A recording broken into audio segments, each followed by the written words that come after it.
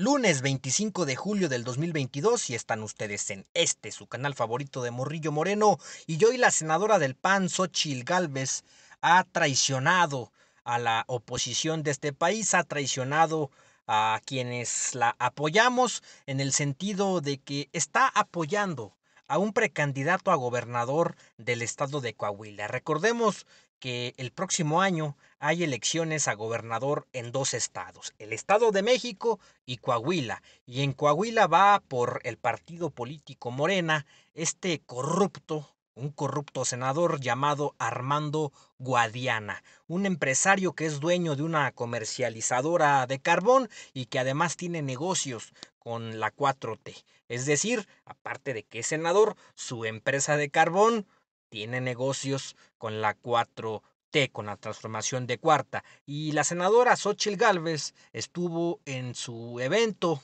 estuvo en su informe de actividades legislativas, que en pocas palabras es un destape, es un destape de este senador Armando Guadiana que quiere ser gobernador del estado de Coahuila por el partido político Morena. Es lamentable.